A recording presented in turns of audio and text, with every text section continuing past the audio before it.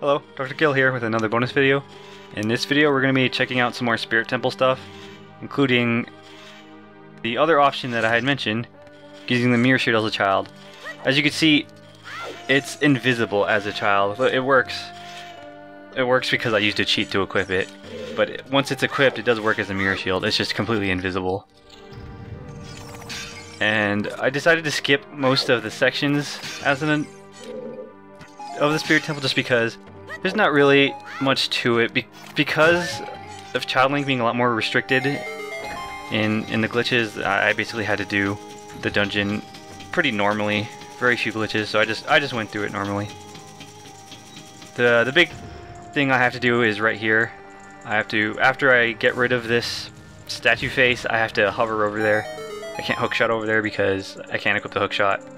And even, if I could, even if I did equip it with the cheat, it would have either crashed the game or I would have just soft locked and couldn't do anything. So just I have to hover there, and there's no real good consistent way to do it. So I just kind of winged it uh, using using what I know and skimmed through it because it's not that important to see.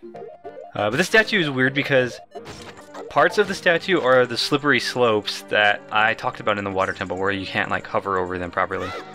It's very strange. But all you have to do is get high enough and you can side hop in. Or just jump in. Uh, now the weird thing about the boss of the Spirit Temple is that the cutscene that normally happens to right when you walk in doesn't happen as a child. So if I want to fight the bosses, I have to go trigger that cutscene first as an adult and then go back and fight the Knuckle as a child. And that's basically what I'm doing here. Uh, this is the same trick I showed off to clip out of bounds, but I'm going to do it easier this time. I'm going to use Nayru's Love to super slide back because using Nayru's Love is like uh, baby mode for bomb tricks. If you trigger a, a, ground jump off of a bomb while having Nayru's Love, it'll always turn into a super slide. Whereas uh, without this, you would have to time it. So it makes things a lot easier. And if I were to backflip or side hop with Nayru's Love and something hits my shield, it automatically becomes a mega flip. It's like training wheels, basically. So it makes things a lot easier, but generally not using runs because it takes longer, or you just don't have Nayru's Love. But yeah, so I had to trigger that cutscene in order for Childlink to actually fight the Knuckle. I, I don't know. I don't know why it's like that. Uh, I'm told it's just somehow some because of the way this particular mini boss fight is triggered. It requires that cutscene. I, I don't know. It's very strange, but uh, beating beating the Knuckles pretty easy as a child too. Using the same strategy. Just takes more hits because you don't you don't have the Biggoron sword or anything. But other than that, yeah, it's nothing special. I, again, one thing you will notice about the mirror shield is that uh, it doesn't work like the Hylian shield where he has to crouch on the floor to use it. It he holds it out like a DK shield. But if you can see the when the light reflects off of it, or when I use it in this coming fight, it's still the same size as the mirror shield. And again, again, it works. It's just fine as a child. It's just you can't equip it normally ever. It does look pretty funny though because you know he when he looks like he's shielding it with his bare arm. Uh, and the slingshot will also make Twinrova spin around like the hookshot does, or like the bow and arrow, as long as you have seeds. Uh, if you have no ammo, it won't work. Same thing with the bow. And then from here, again, it's a pretty typical fight. Uh, nothing special, but it does look... This really shows how the mirror shield is sort of working right now. While it's holding a charge, you can see the size of it and how he holds it out. I don't know, it looks really strange. It shows that, I don't know, there's some capability to it if you could ever manage to equip it in-game, but it doesn't seem possible.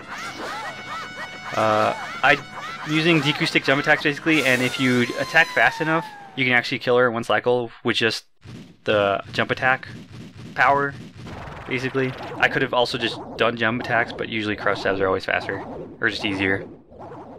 Pretty simple. But now we're going about to take on what I think is probably the dumbest trick in this entire game. Uh, first, I will show off that I'd miss this attack, but right when it ends, they're gonna go right into their next form. This is because this is because I'd actually hit her um, enough times to trigger this form already, but they can still keep firing after that sometimes. that, which is all that's completely RNG. So, it, but it's possible for them to just continually attack even though they're totally ready to go into their next form. But okay, this is the the dumbest the dumbest trick, the dumbest glitch that I'm aware of in Ocarina of Time, and I have no idea why it works, why it exists, but uh, it does take a little bit of setup to do.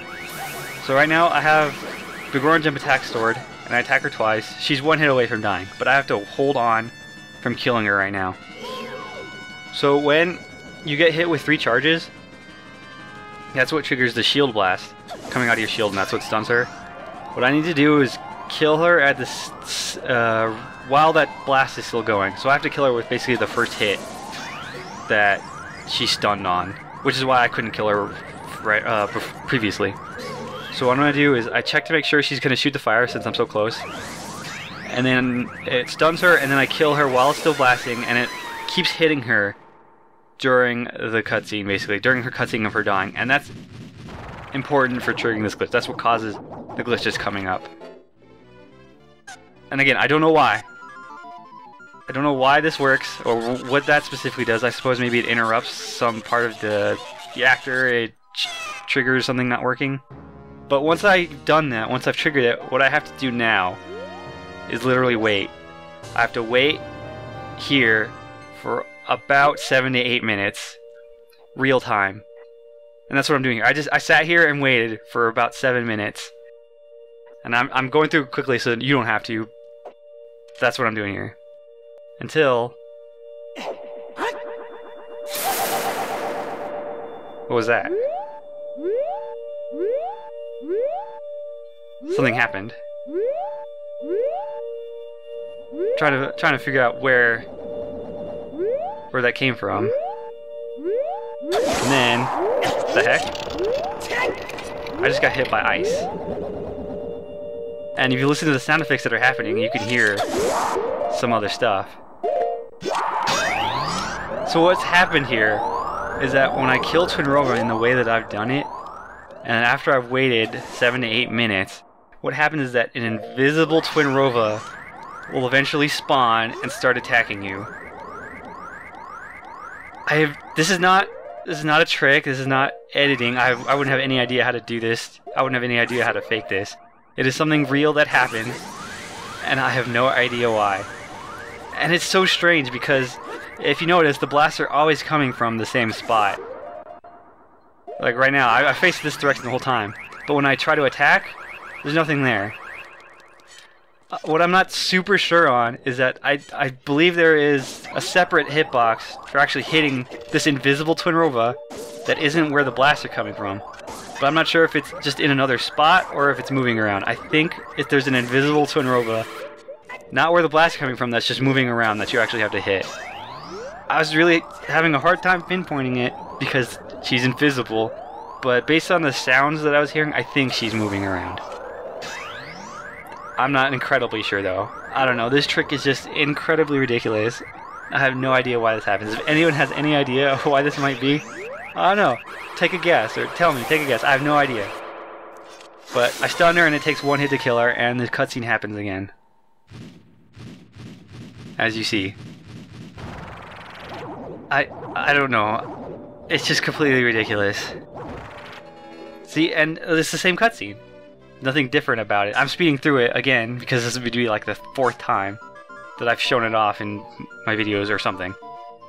And I just, I don't know. It this trick absolutely confounds me, and it's incredibly dumb. I have no idea why it exists. It's silly, and pretty much completely useless. The one uh, consequence, uh, repercussion it has, is that afterwards, if I were to go check the heart containers, it actually does spawn another one. So if you wanted to, you could actually spawn multiple heart containers this way. You could just keep doing the same glitch over and over. But you have to wait so long to do it that it's not worth it. So yeah, really dumb trick, no idea why it exists. This game is weird and strange and dumb, and I have no idea. Bye everyone.